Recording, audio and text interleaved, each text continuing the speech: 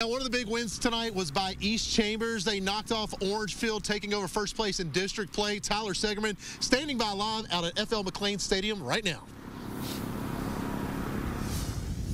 Yeah, you know, I was actually one person who actually was hoping for the cold weather to come. Uh, maybe I asked for a little too much because the wind is right now blowing right at me, so I had to put on the jacket. But despite a chilly night, the East Chamber Buccaneers offense was hot, and it all started with running back Knowlton Shelvin. He took a reverse uh, in the first quarter and just went all the way down the field, 70 plus yards without even being touched to put East Chambers uh, on the board. They led it 7-3 after that, and then in the second quarter, he scored again, just walking right in nonchalant. Knowlton Shelvin with two rushing touchdowns in the first half to pull East Chambers ahead at halftime. And then in the second half, it was really more of the same. East Chambers came into the night with uh, 300 yards rushing per game, and Ernest Caesar capped off another touchdown. Uh, they led as much as by two touchdowns in the second half, and uh, came down to really the last five minutes of this game with East Chambers failing to convert a fourth down. The defense came up big. They got the Bobcats to stop on a fourth down conversion, and obviously that sealed sealed the win for them. So with the win, East Chambers improves to 5 and 1